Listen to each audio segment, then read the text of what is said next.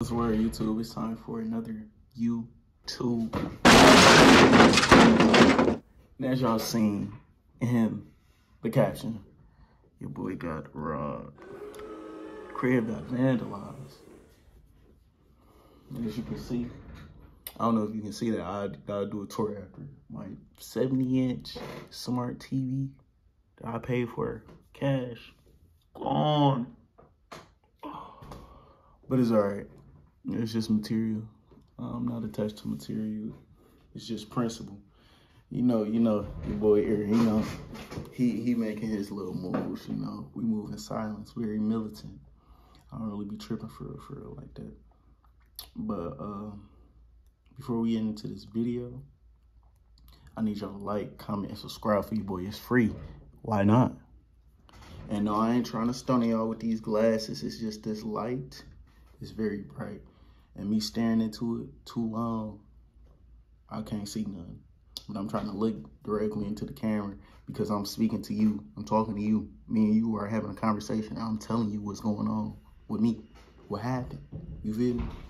So, further ado, let's get into this video. I'm do my little intro. It's getting hot in here. So you tuned into it. It is getting so hot. You are watching Just Air.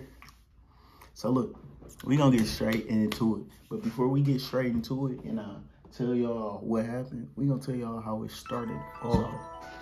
Uh, it started off October going into November.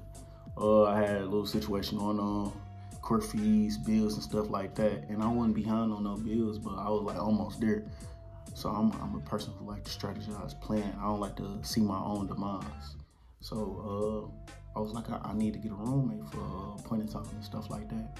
But it was like nobody who I, I really trust for real, or I didn't want a random person in my crib. So uh, I ended up hitting somebody up. We ain't gonna say name. We gonna call him Splinter. If you know, you know, you know what Splinter mean, or you know where Splinter come from. So, uh, Splinter, uh, and I already had a conversation like probably a year prior, and he wanted to move in, but I kind of was never gonna let him move in because Splinter is something like when he don't have a source of income, a reliable source of income, don't really have nothing to his name, don't have nothing really going for himself in life. So that's a liability. You never want to give yourself liabilities. Okay? Rule number one, never give yourself liability. But I was in a predicament and I needed to make a sacrifice. So I was sacrificing my my crib, my my personal space, and sort of gone to my well-being. Um, so I can be able to stack some cheese up and get my stuff in order. Because uh, at the time I was I was just preparing for the worst. I was preparing for the worst. Just trying to get my bills together. And it's it's good to low key have a roommate, but you need to know that the roommate is good and y'all need to have rules and boundaries. So we're gonna get straight into it. So uh, October going into November, Splinter was moving in on November. I made sure Splinter gave me rent up front. I should have did two months advance, but I did one month advance because Splinter is a liability, which I said, and mind you, tips about Splinter. Nobody fuck with Splinter. It's like fuck with Splinter is shisty, but Splinter tried to be shisty with me, and I, I, I, I stand on business. So, um, nobody mess with Splinter, and I was like pretty much scratching his back. He was scratching mine because I need to save some money. Was about to be homeless. Splinter about to get kicked out by his sister. Splinter was standing in his sister's basement, and he about to get kicked out. So I was looking out, you know, and I already told him from the get-go, you ain't gonna be staying here too long. Uh, a month or two tops. And depending on how it go, uh, I might let you allow you to stay a little bit later and stuff. We can work some stuff out. But this is you just got that room and just need you to pay the rent, stuff like that, don't be on no extra bull stuff. Immediately from the start, from the start, after he moved his four mattresses, well, two mattresses and two box springs, and his bookshelf that he turned into a TV stand in with his TV. Um, I, I, ended up helping him out too. I gave him uh, a mattress and a box spring. Box spring was fairly brand new. Mattress was fairly used. I don't know why you want it, but I guess he like his bed tall. So at this point, he has like a six stacked bed. No headboard, no footboard. Jumping on that. I, I don't know. I don't know. But uh, I gave him a bed because I, I already had a guest bed in that room. But the guest bed was like brand new. I wasn't trying to get my brand new bed because my my bed ain't brand new. So I was like, I'm just move this in there, and I was gonna throw it out. But he was like, No, let me get it, let me get it. I'm like, all right, go ahead. So first red flags that Splinter did. First red flags was he was stealing packages from our neighbors. Why are you stealing packages from your neighbors? Why are you shitting and pissing where you lay your head? It's a no-no. Why are you stealing from your neighbors, period? Why are you stealing, period? It's a no-no. And he ended up stealing a tracking device. So stupid. His luck. And we um ended up he didn't give it back. He tossed the stuff. And that was that. He ended up taking my neighbor's phone and he was charging in the hallway, tossed it out the window because he, he thought he stole his, his DoorDash that he didn't even pay for it. And it was some Taco Bell.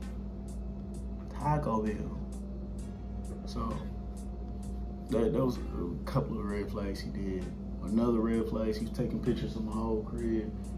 You know, like how people move into a brand new apartment or something like that, or a brand new place, they show the keys and post a little picture on Instagram of them showing the keys like, yeah, yeah, I did that.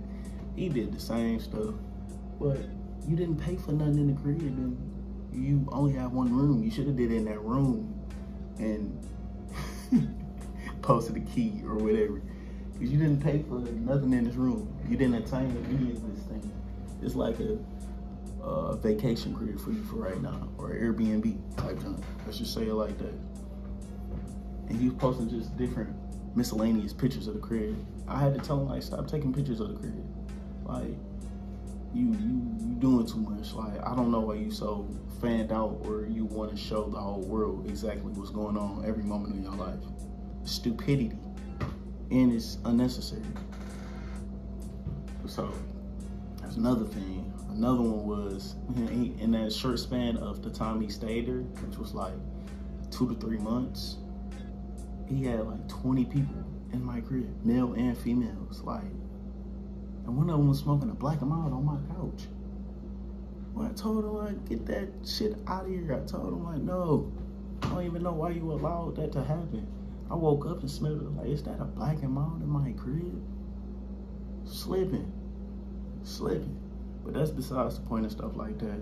Uh, those little red flags, and it's at the point where I'm like, I'm getting tired of it. I, I just do what I can and try to manage the bills by myself. So as it was approaching the time for me to kick him out, I was going to kick him out of 2024, January 1st, 2024, the brand new year. He wanted to go see the crib and that. But I just started a brand new job. So I wanted to be like kind of up on a little stuff, kind of get myself a, a, little leverage and stuff. So I was going to allow him to stay in February. Uh, some of the rent, we had rent paid. And his G-Mon paid it or whatever. I don't know if his G-Mon called for a refund or her stuff bounced, but I ended up checking the accounts in January and the balance was in the negative. It's crazy that in December, the account balance was zero. And then in January, it went to negative. So once I realized that, I told him, I was like, I need the 1400 I need the 1400 by the end of the week. Where you out? Type note. And uh, I put a lock. I put a lock. I put a lock on the room that I was allowing them to stay in. And I was saying you you don't have no access to this room until you give me my fourteen hundred. I, I find that fair because I could have just kicked you out and told you you do whatever you do. I'll get my fourteen hundred. How I do it. You just gotta go do that stuff somewhere else. So you gotta play the crib. I mean, play play the couch for until you give me my money. When you get my money, you can have access to the room again, which is fair, cause he be on the couch most of the time, anyways, watching my TV. So I told him that, left out for uh for work and stuff like that. He didn't say nothing. He ain't say no extra stuff. He ain't he ain't step up, do like, nah, I ain't, I ain't messing with it. Just like, all right. So, uh, end up going to work. When I came back,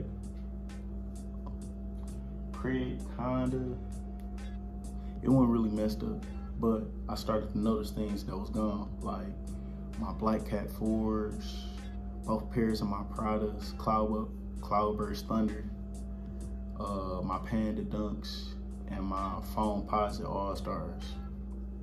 It's just shoes, materialistic things. I'm, I'm not attached to materialistic things. It just be principle.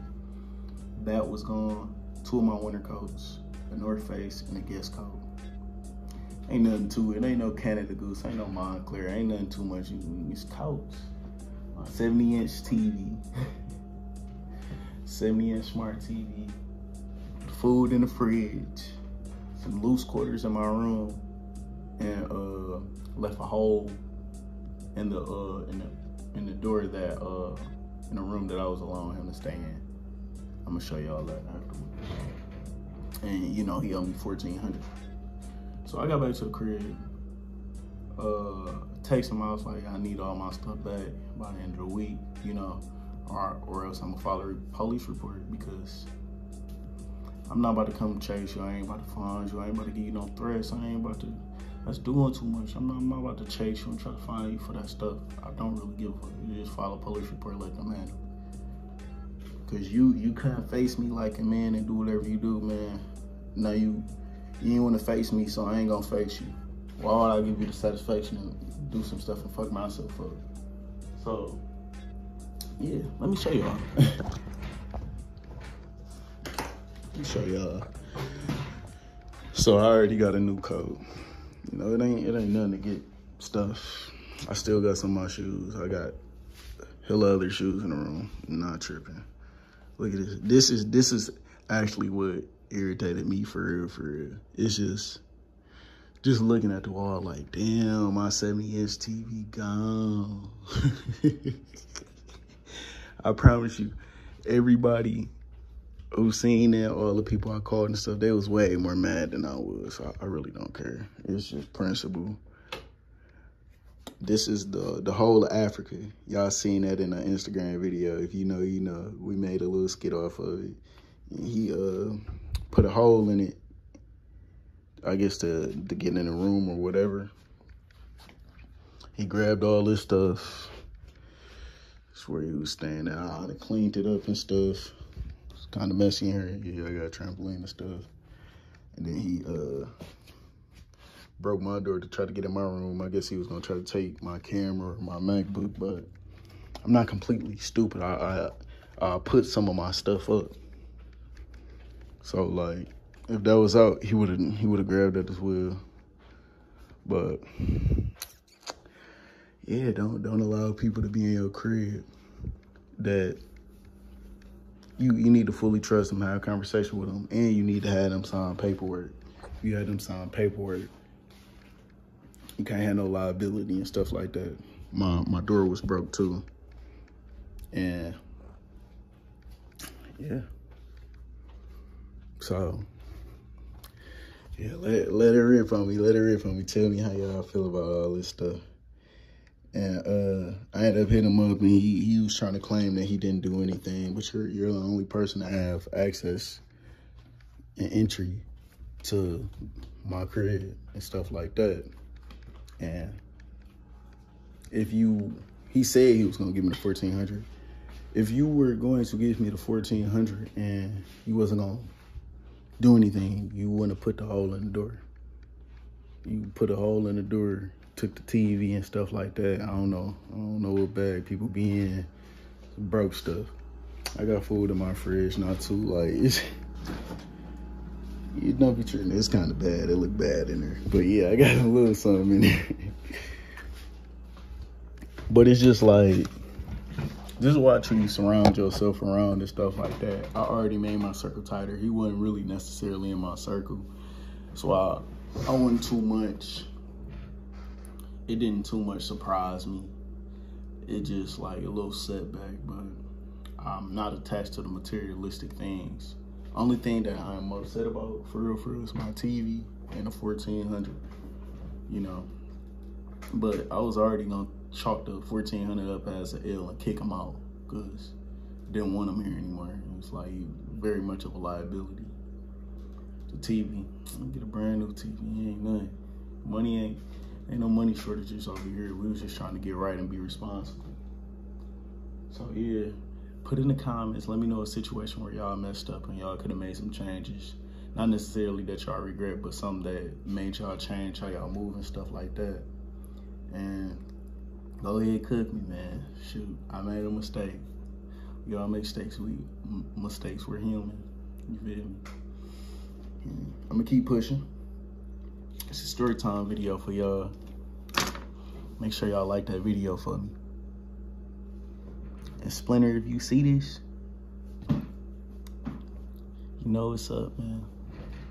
No retaliation. I let God do my uh my fighting for real, for real. But you know, you know it's a we know you scared. Are you scared? You scared you can't. Little skinny self. Can't you can't do nothing with me, but it's all right. Um, more videos coming soon, more skits coming soon. Your boy Air on the come up. Thank you for listening. I appreciate y'all. That being said, air out. Bye, have a great time.